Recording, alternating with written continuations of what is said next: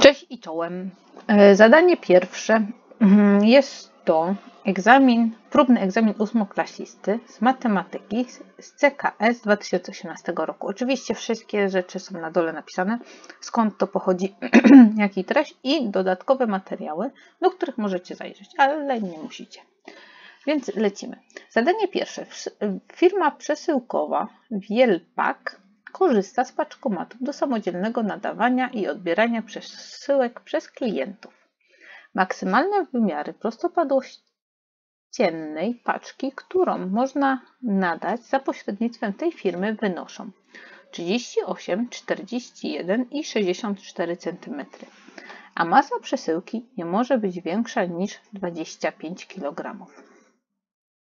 Czyli tak, nasze wymiary mogą być 38, oj coś za gruby, grubasek mi się taki zrobił, 41 i 64 cm.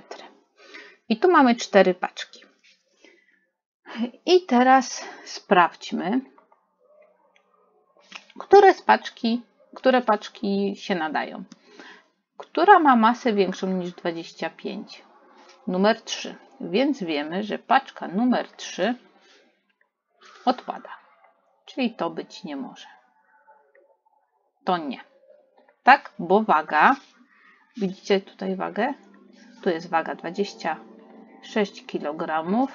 To więcej, więcej niż 25 kg. A mamy to puszczane tutaj.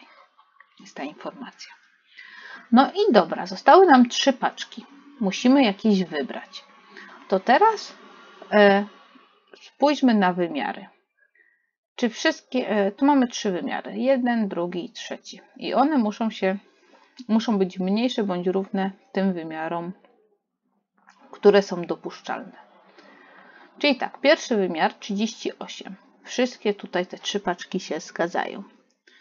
Drugi 41, 41, 38, 39 też jest ok. I trzeci wymiar 64. Pierwsza paczka ma 66, a 66 jest większe niż 64, czyli ta paczka się nie zmieści do tego paczkomatu, tak? Bo jak ma większy rozmiar, no to nie wejdzie.